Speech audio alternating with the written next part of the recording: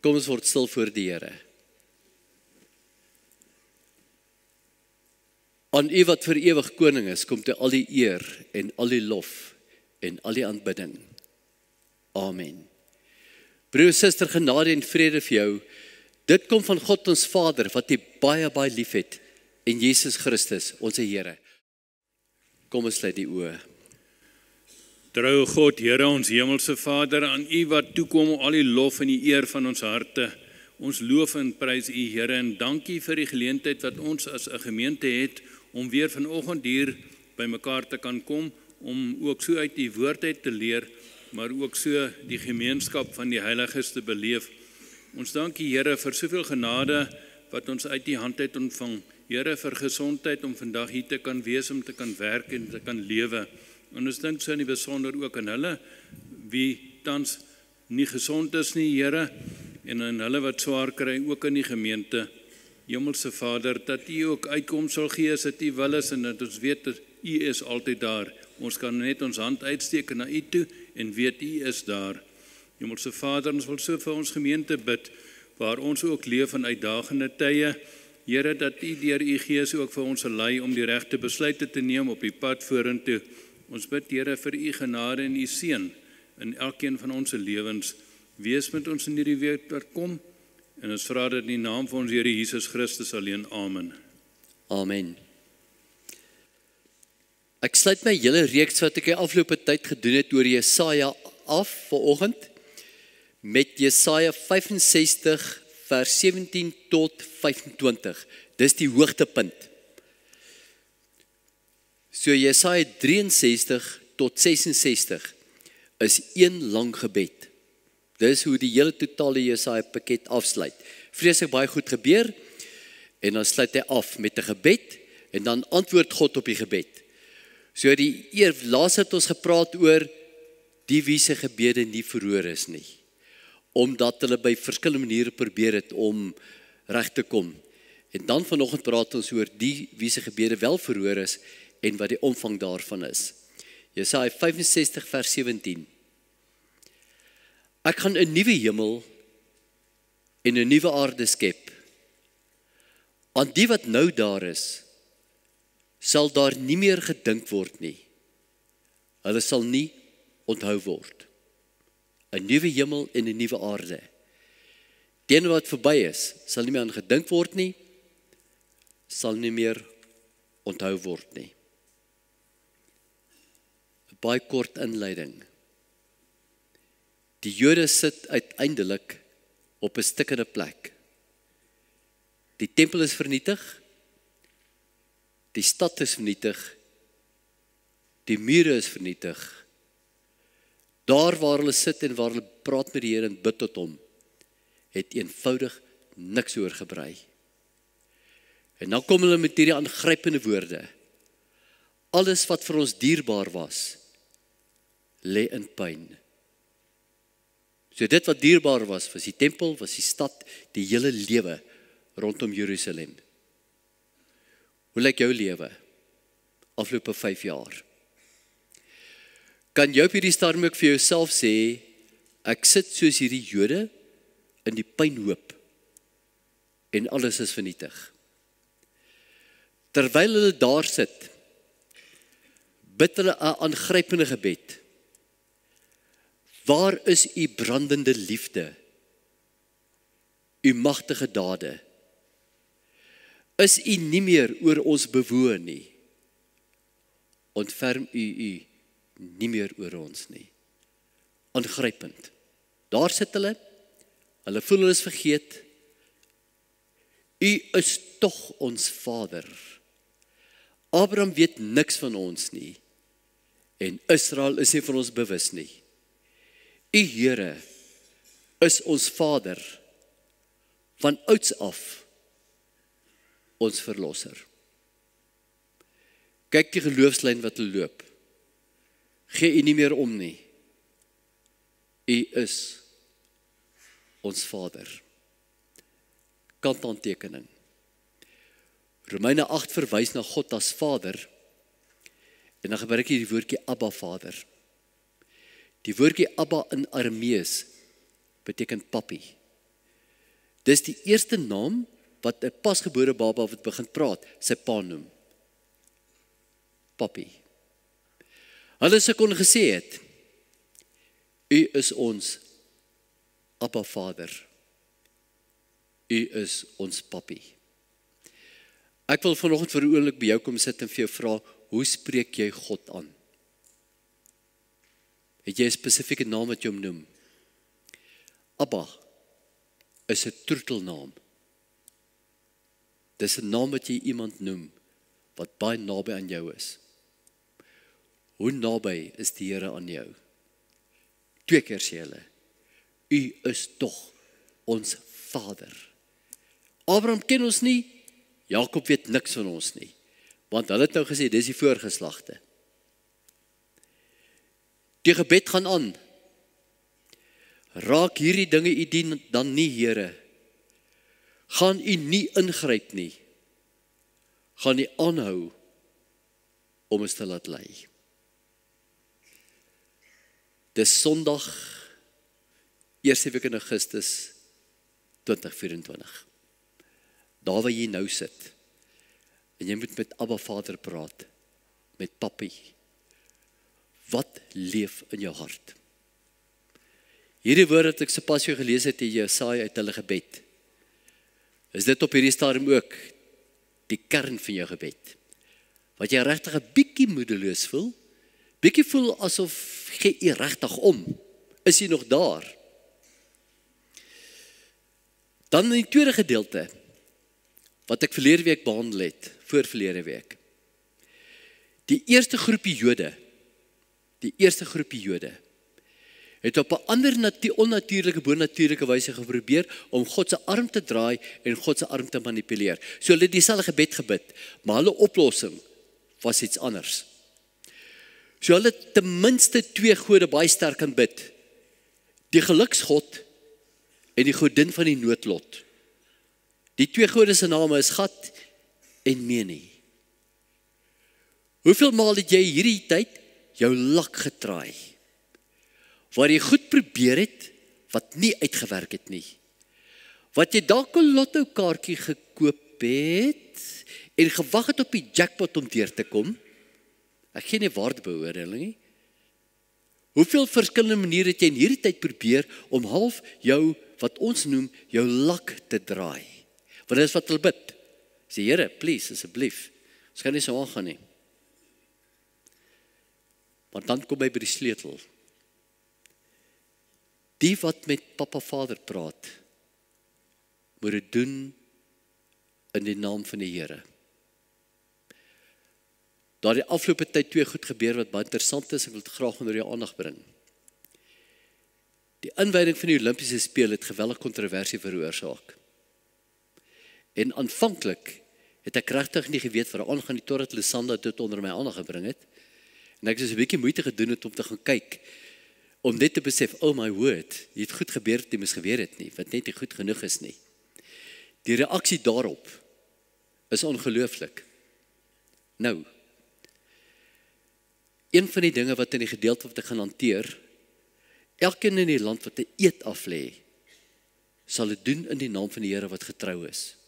Elkeen wat 'n eed af lê of wat hom voorspoed bid, sal dit doen in die naam van die Here wat getrou is. Rondom die Olimpiese spele was daar geweldig interessante reaksie gewees. So die Christendom in Frankryk het baie sterk daarteen uitgespreek. Ek het na 'n YouTube kanaal gaan kyk van iemand wat 'n Mohammedan is, 'n Islam Die Islams het twee kommentare gelewer. Hulle het die Christendom uitgedaag om hulle geloof te verdedig.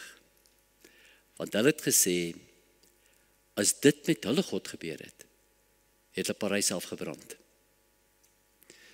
Op 'n ander kanaal het ook 'n Mohammedan gesê It's not only the God of the Christians wat beledig is nie but also the Muslim faith. In the Quran, Jesus is a prophet.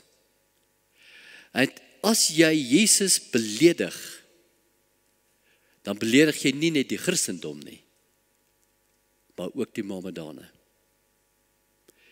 Die Mohammedane het in hierdie tyd die Christendom uitgedaag om op te staan vir Christus.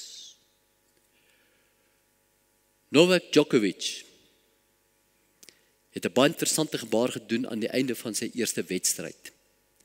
Hy het voor die kamera gaan staan, toe draai sy oor na die kamera en hy wys hier. Agter sy oor is 'n kruis. Toe sê Djokovic, I am thirst an orthodox Christian and then a tennis player. Hier's die uitdaging. Elkeen wat vra om voorspoed. Elkeen wat vra om 'n nuwe toekoms. Elkeen wat 'n ander pad vorentoe wil loop, kan nie met die geluksgode gaan operate nie. Kan nie jou lak draai nie. Kan nie alrande goed manipuleer om inderdaad meer voorspoed te kry en aan te gaan nie. As ek en jy die pad vorentoe wil vat in, in na hierdie gebed, gaan ek en jy moet begin om in die naam van die Here te bid. Hoor mooi wat getrou is. Maar die wat die Here dien, gee hy nuwe toekoms. Elkeen in die land wat hom voorspoed bid, sal dit doen in die naam van God wat getrou is en elkeen in die land wat 'n eed af lê sal dit doen in die naam van God wat getrou is. Ek begin by die eed. Novak Djokovic het opgestaan en voor die wêreldkameras gesê I am a Christian. Die Mohammedane het die Christendom uitgedaag om op te staan vir hulle geloof. Vandag 2024 wil ek jou vra om op te staan in die naam van die Here wat getrou is. Die woordjie eet in hierdie konteks beteken 'n nuwe verbintenis, 'n nuwe kommitment. Swaar kry het 'n paar effekte op die siege van die mens. Dit maak jou sinies. Dit maak jou moedeloos. Dit ruk jou tot in die kern van jou geloof. Of dit skep in jou innerlike 'n gees van 'n nuwe afhanklikheid. Swaar kry het ongelukkig vernietigende impak op 'n mens se geloofslewe. Laat daar geen twyfel oor wees nie. So hier waar hierdie mense tussen die ruïnes gesit het, En waar vir die Here gesê het alles wat vir ons dierbaar is lê in pyn. Sal ek nie nie presies weet wat het oorgebly van die anker van hulle geloofslewe. Ons sal nie weet nie. Wat het oorgebly van hulle kommitment? Maar hoor mooi hierdie woordjie. Wat het oorgebrei van hulle vertroue? Help dit nog om te bid? Help dit nog dit om te praat met die Here? Hoekom bid ek? So watter impak het die afgelope 5 jaar op jou geloofslewe gehad? Het dit jou nader aan die Here gebring? Of het dit hom 'n bietjie verder weggevat? Het dit jou sinies gelaat? Of het dit in jou innerlike diepe bewussyn geskep? God bly in beheer. Hoor baie mooi daai woorde.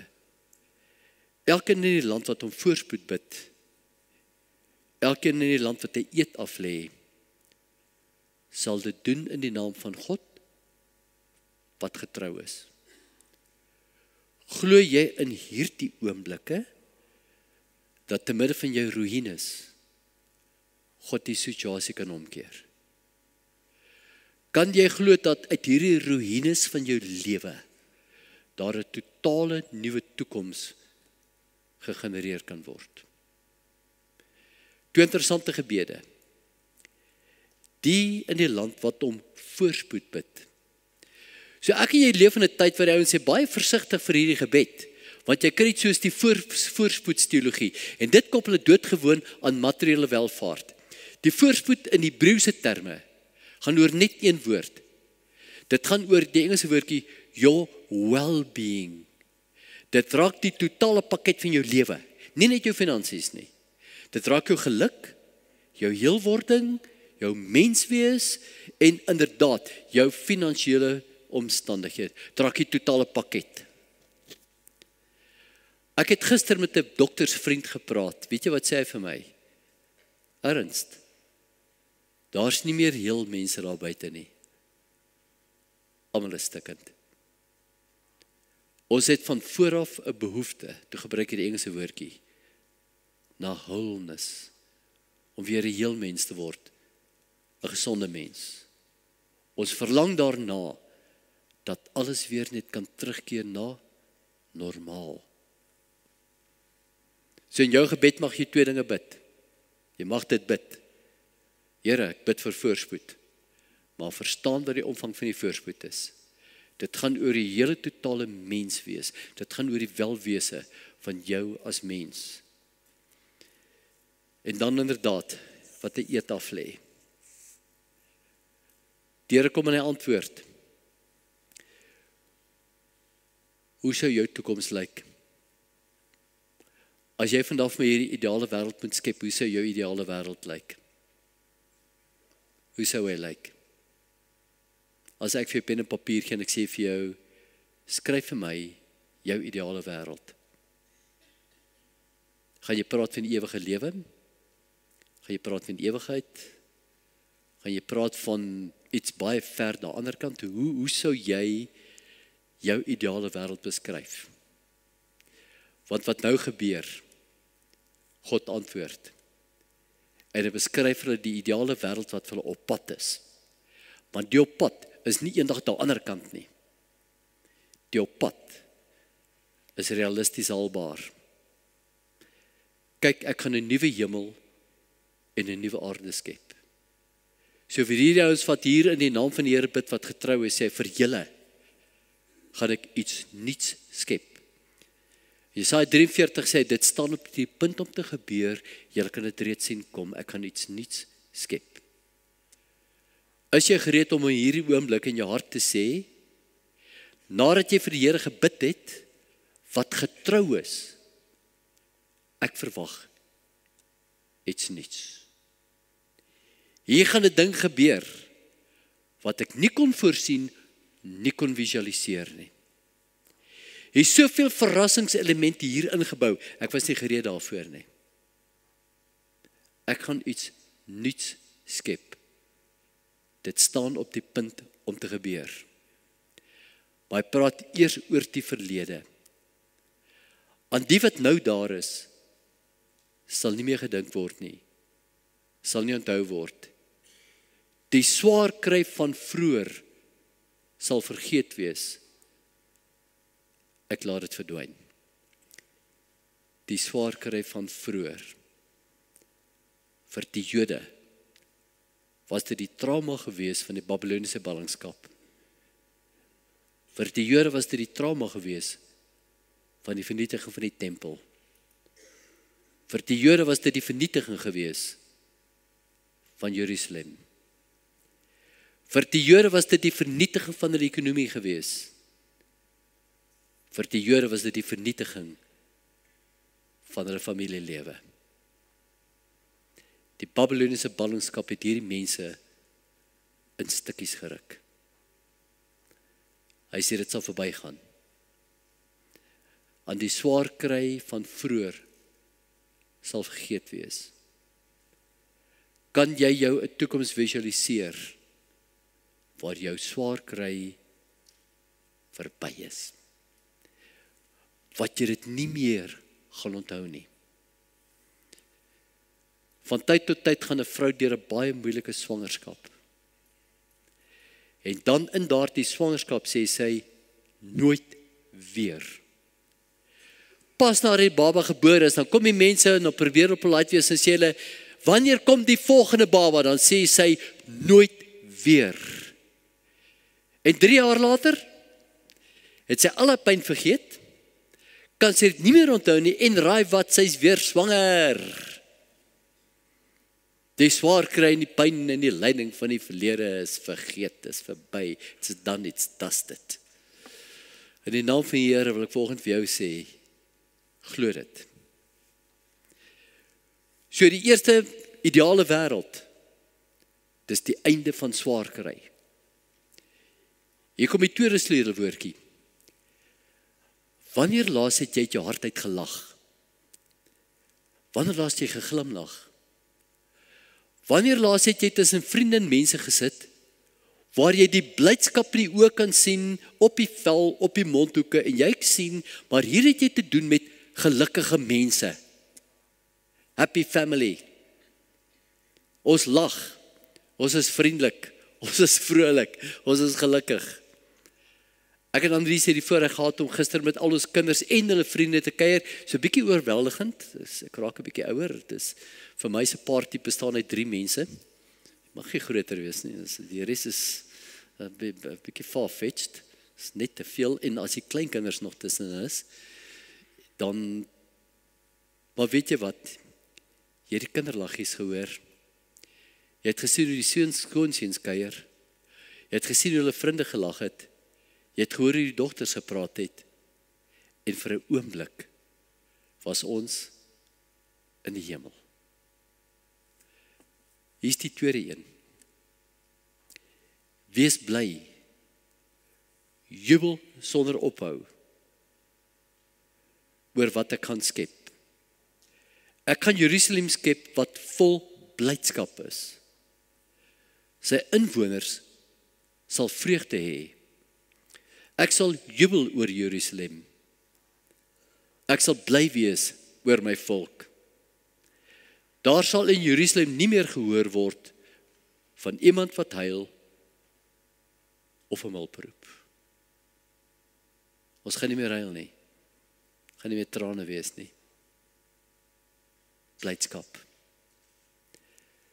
Daar kom 'n dag wat jy weer in jou innerlike 'n kalmte en 'n rus en 'n vrede gaan hê en waar jy gaan lag en jubel en juig. Ideale wêreld. Swaar kry is verby. Hier binnekant is ek 'n siels gelukkige mens. Derdeen. Kwaliteit lewe. Gisteroggend het ek en my broer baie lank gesprek gehad. En ons het gepraat oor die lewe. Toe vertel ek hom 'n storie van 'n wêreldbekende oralis. Hy het op die grootste forums opgetree tot en met op 73 jarige leeftyd. Sy lewe was om voor mense op te tree met oraluitvoerings. Toe kry hy arthritis in sy vingers. Toe kon hy nie meer orgel speel nie. 73 jarige leeftyd het hy selfmoord gepleeg.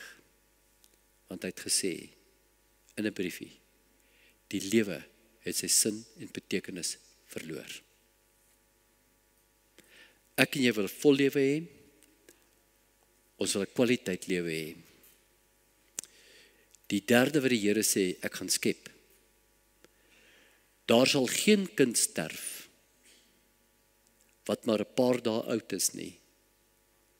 Geen grysaard wat nie sy jare uitgeleef het nie. Sien jy die kontras? Jong kinders gaan nie sterf nie.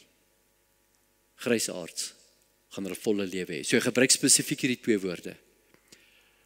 As jy vandag na die Gaza kyk en jy sien daai oorlog wat daar plaasvind, wie ly die meeste? Kinders en ou mense. So in hierdie gedeelte sê hy Kinders gaan leef, grysaards gaan die volheid van hulle lewe bereik. As iemand op 100 100 jarige leeftyd leeftyd sterf, sal dit beskou word asof hy jonk gesterf het. As hy nie 100 word nie, sal hy beskou as iemand wat vervloek is. So die derde konsep, die derde gedagte is 'n vol en 'n lang kwaliteit lewe.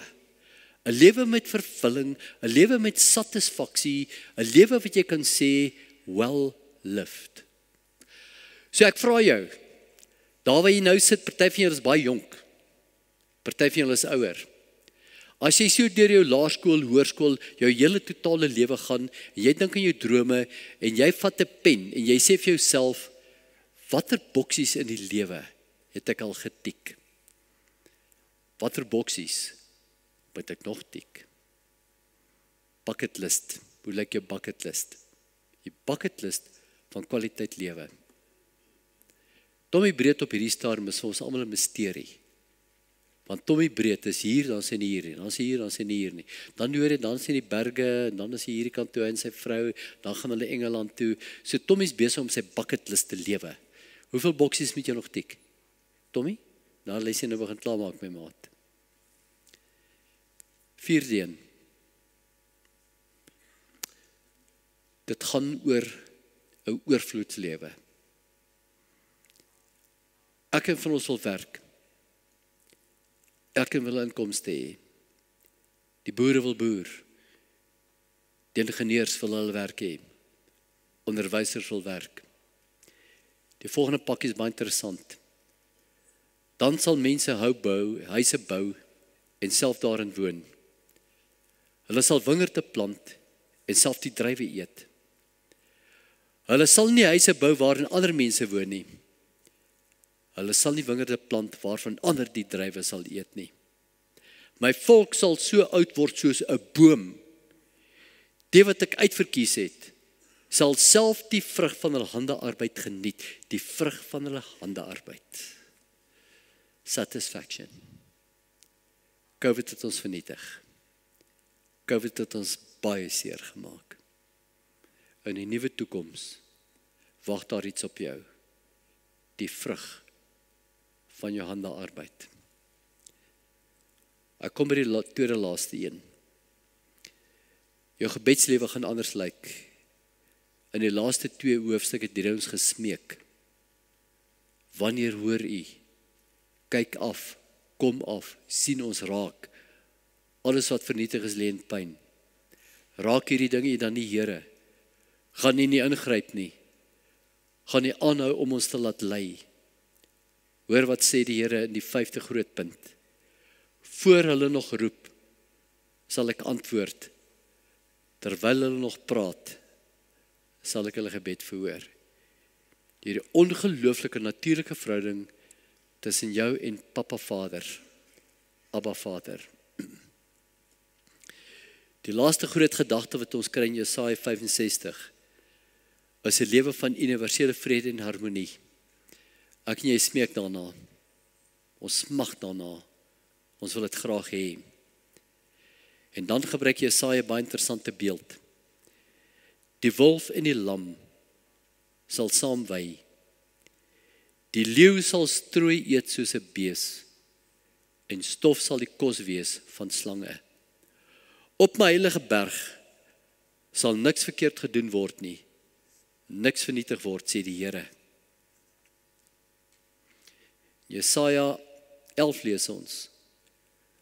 Wolwe en skape sal dan saam bly. Luiperd sal tussen bokkies lê. Kalwers, leeu's en voerbeeste sal bymekaar wees. En 'n klein seentjie sal almal versorg. Koeie en beere sal saam wees. Hulle kleintjies sal bymekaar lê. Leeu sal gras eet soos beeste. Babietjies sal by die gate van adder speel. Klein kinders sal hande uitsteek na giftige slange. Op my heilige berg sal niemand meer kwaad aanrig of iets verniel nie. Want die aarde sal vol wees van die kennis van die Here, soos die see vol is van water. Kyk, ek gaan 'n nuwe en 'n heem nuwe aarde skep. Aan die wat nou daar is, sal nie meer gedink word nie. Hulle sal nie meer onthou word. Die swaar kry van vroeër sal vergeet wees. Ek laat dit verdwyn. Mag dit waar wees in jou lewe. Hierdie gaan nie net oor die ewigheid vorentoe nie. Maar dit gaan oor my en jou toekoms. Aan die swaar kry van vroeër sal vergeet wees. Ek laat dit verdwyn. Ek gee geleentheid vir stil gebed. En jy bid 'n baie eenvoudige gebed. Here, U het gesê U gaan iets nuuts skep in hierdie gedeelte. Skep dit ook in my hart. Ek gee geleentheid vir stil gebed.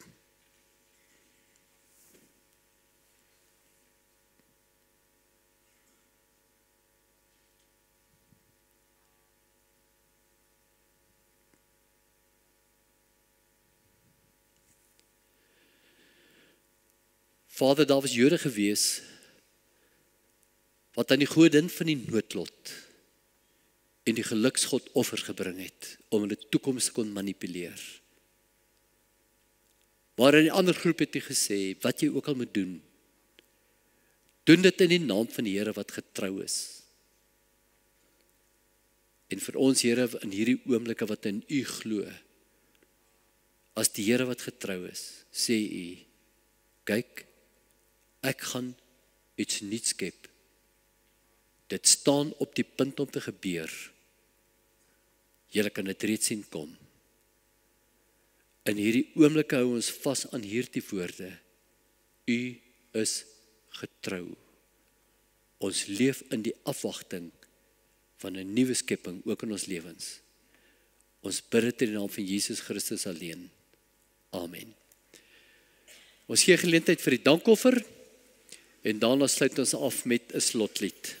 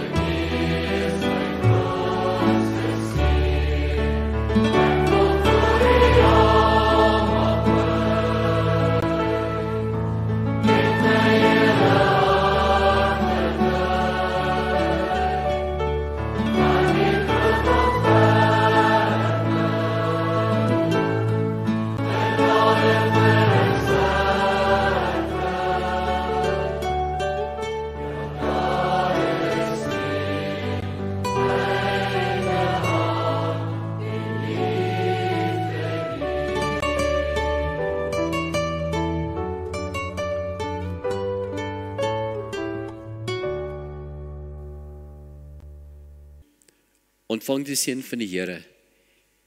Hierdie seën kom van die Vader. Dit kom van die Seun. Dit kom van die Heilige Gees. Ek kan 'n nuwe hemel en 'n nuwe aarde skep. Aan die wat daar nou is, sal daar nie meer gedink word nie. Sal nie meer onthou word.